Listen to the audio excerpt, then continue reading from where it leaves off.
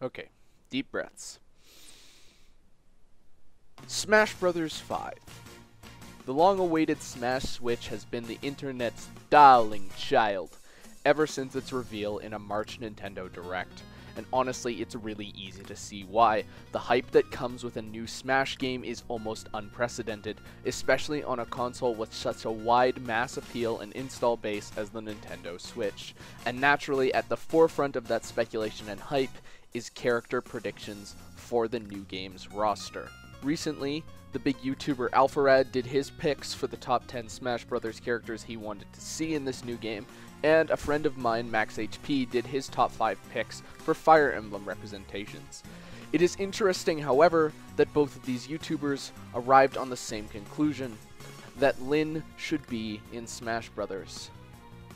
And considering my reputation as a content creator,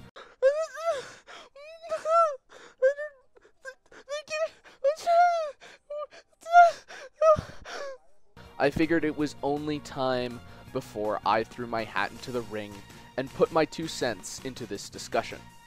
So today, I aim to explore the possibility and likelihood of Lyn getting an appearance and a character slot in this new Smash Bros. game, and going over some of the common arguments for and against, and seeing what are the holes, what are the pros, and what are the cons.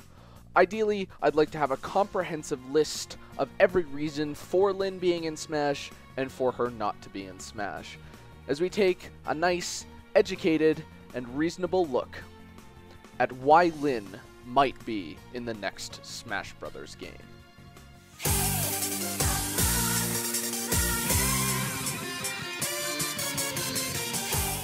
Firstly, I'd like to preface this video by acknowledging some of my personal bias on this topic. If you spend any amount of time on my channel, you could probably easily discern that I am in fact one of the biggest Lyn fanboys to ever exist.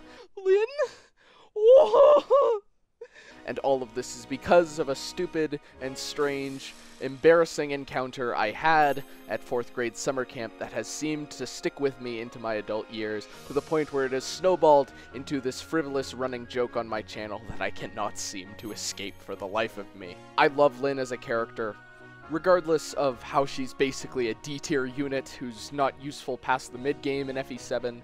Oh no. I love her just the same because of her great interactions with not only the Avatar, but also Rath and Kent. Another one. They are all great supports, and I recommend reading them if you like Lyn in any capacity. She is certainly one of my favorite characters, not only for how uh, sweet and caring she is as a character, but also how spunky and out there she can be. Additionally, having one of the flashiest attacks and movesets and sprite animations in the GBA series that more than makes up for her mediocre performance as a unit in my eyes. Another one. That being said, Lyn also got my Smash ballot vote back when that was still a thing, so I can assure you, I 100% would want Lyn to be in Smash to the point where I would do very, very upsetting and abhorrent rituals to dark pagan deities to see it happen. He's in, boys! He did it! He said it!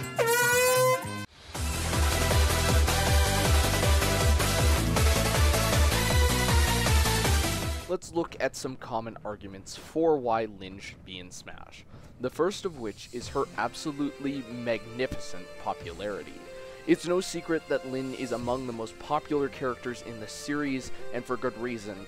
If my rant towards the beginning of this video wasn't any indication, she is well loved by many, many Fire Emblem fans. However, I feel like taking the popularity polls of Fire Emblem Choose Your Legends into account as raw data and accurate representations of a certain character's popularity is loaded and inaccurate at best. I often like to joke myself that I'm indirectly responsible for about 1,000 of Lyn's 44,000 votes. And honestly, given my view counts on my mid-roll video for the original Choose Your Legends poll, that's not hard to believe, especially when I was also voting three times a day for Lyn on separate devices, probably more if I could weasel my way onto some sort of public computer or public network. While I am merely one Fire Emblem fan, I cannot demonstrate easily the greatest part of the sample size for the Choose Your Legends poll. I can hopefully illustrate with these factoids that perhaps they aren't as concrete and as reliable as you may think. They are certainly a good indicator, but I don't think their data can be fully taken as fact. So, where does that leave Lyn's chances for getting in Smash? Well, they're actually still fairly high. There are a few things that would need to happen, but it's like maybe a 40% chance. That seems safe in my opinion. While the Choose Your Legends votes cannot be used as an accurate measure of her popularity, they are a good ballparking range to say she is among, if not the most popular female character in this series, so including her would be quite important. Additionally, given her own significance to Fire Emblem being the first lord for many players, including myself, in the West, her significance to the series cannot be understated, and a role in Smash Bros. would do her justice in that way very easily. There's also the possibility, given a new Smash, the likelihood of characters being cut. While I personally don't think Sakurai would want to cut anyone, it is certainly a possibility if he faces pressure from either the higher-ups or his design staff to possibly move characters like Lucina into a palette swap set for Marth, much like how Alph was for Olimar. With existing models and animations already in the working Smash 4 engine, she could be seen to perhaps get the Little Mac treatment and upgrade from Assist Trophy into fully fledged playable character, since that is not unheard of. But there would be a few things that would need to happen for this to go through as well. Firstly, I think one or more Fire Emblem characters needs to be removed from the game's base roster. They can be added in as DLC later, but my bet is Roy or Corrin or possibly Lucina needs to get the boot from the base game and added either later or mapped to an alternate, probably Lucina for an alternate of Marth. This would open up a character slot for a Fire Emblem character, and barring the inclusion of the Fire Emblem 16 Lord, which I think is far more likely than Lyn, this hole in terms of representation that was created in Lucina's absence could be very easily filled by our humble Lady of the Plains.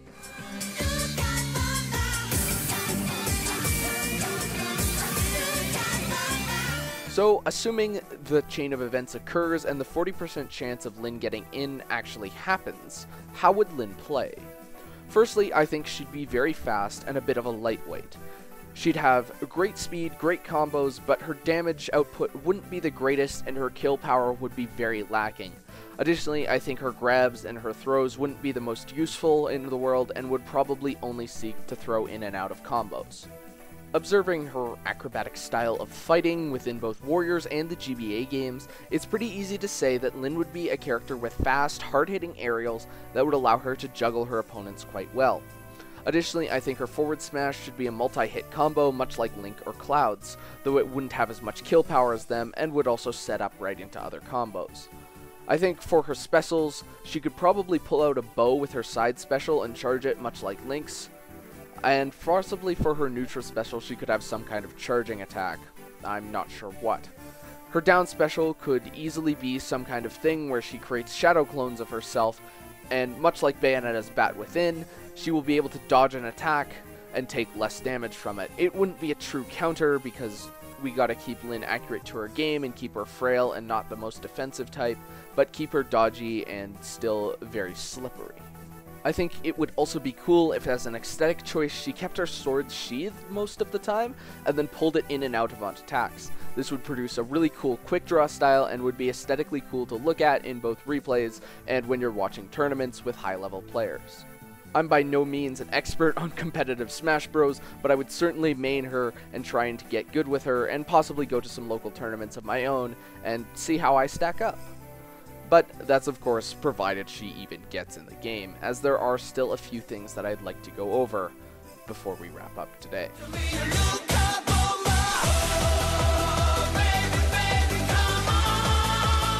So from a more meta standpoint, what's Lyn's likelihood? Well, first of all, as I mentioned earlier, I don't think Sakurai wants to cut anyone from Smash 4, if he can, anyways.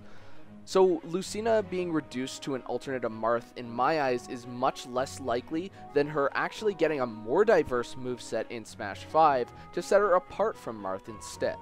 This, of course, would then restrict Lyn's spot, because as I said, the likeliest reason they'd add Lyn is if Lucina got reduced to an alternate of Marth. Bit of a post-production brain fart I had while editing, but if they do end up tweaking Lucina's moveset to make her more unique, it's possible that instead of Lucina and Marth sharing a character slot, they could instead make it so that Lucina and Lyn share a character slot, much like how the Robins have the gender options and the Bowser Jr. alts are all the Koopalings. Uh, they could have it so that one of Lucina's alternate costumes is in fact Lyn. Uh, this would mean Lyn only would have one character costume, uh, that being her default colors from Fire Emblem 7, and she would share her moveset completely exactly with Lucina, just being a cosmetic change. But I think this would be a good way to include her without actually cutting Lucina or taking up an extra character slot herself.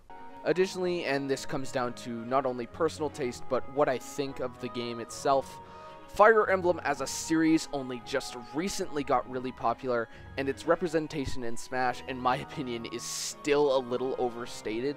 And I think the roster that they have is unique and diverse enough that it could honestly just stay the same between now and Smash 4, and I'd be perfectly happy.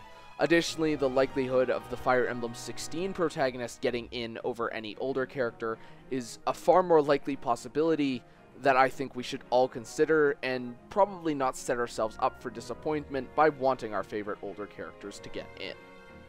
There's also the issue of priority and relevance. While Lyn certainly means a lot to Fire Emblem, she's only really relevant because of heroes, and I doubt a mobile game will have as much effect on a juggernaut as Smash as something like Breath of the Wild, which was a genre defining, essentially modern classic, will.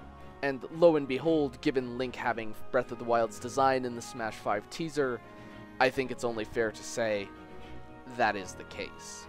Additionally, I think there should be other sword-wielding characters who should also be prioritized over Lyn, namely Rex from Xenoblade 2. Him and Pyra would make a great Ice Climbers type duo that I really want to see how they play in the game, and hopefully we can switch to Mythra as well. Additionally, if we are going all out on the Xenoblade representation this time around, the addition of Morag would be excellent, especially for me. I love my Scottish waifu, after all. Scotland forever!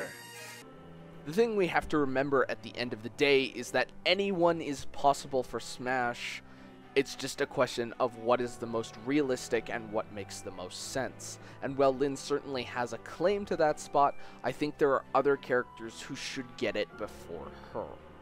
Which is really sad to say coming from me because I want her in Smash probably more than anything else.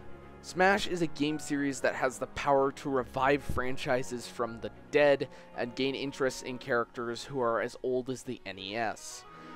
While Lyn is certainly significant to her own series, all she really has going for her is that and her popularity. There are certainly plenty of other characters I can think of who deserve the spot sooner than she would get it.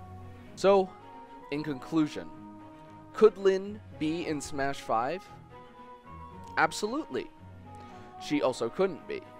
It's a definite maybe. Thank you for watching, I hope you enjoyed the video, and if you enjoy speculation like this, let me know down in the comments not only which characters you would like to see in the new Smash, but also your own thoughts on the likelihood of Lyn's placement in it. I personally think, like I said, it's a 40% chance of it happening. A lot of other things will need to happen for it to happen. It's like a Rube Goldberg machine that will end in Lyn getting in Smash. Um, I just don't know if every piece will fall into place, is the basic thesis of this video. So, if you enjoyed, why not subscribe, throw me a like, a comment, I, um, and basically, no matter what character you want to see in this new Smash Brothers game, as always, my name is Zerk Monster Hunter 4, and happy hunting.